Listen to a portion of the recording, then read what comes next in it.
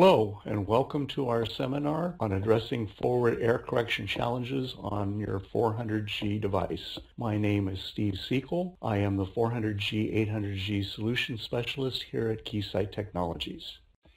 Okay, when discussing the challenges brought about by forward error correction in these uh, links in the data center, it's important to keep in mind the differences by uh, the challenges brought about by FEC per se versus those brought about by the shift in modulation scheme to PAM4 because both of those happened at the same time. Remember PAM4 doesn't run error free so therefore we need FECs and both of those really happened with the start of the 400G uh, class standards at the same time but each one of those has its own set of challenges and artifacts associated with it.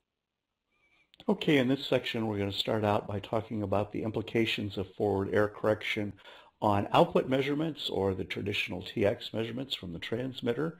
Okay, when looking at output or transmitter measurements, there really are not major implications uh, placed on those measurements by the inclusion of forward error correction in the data. And the reason is because forward error correction itself is a coding mechanism.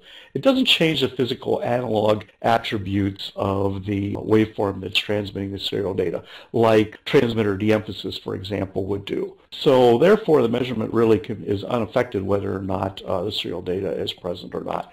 Now, one thing you do need to note is the fact that PAM4 is being used. That does require additional measurements that we didn't need to use when we're dealing with NRZ. But again, this doesn't have anything to do with the use of forward error correction.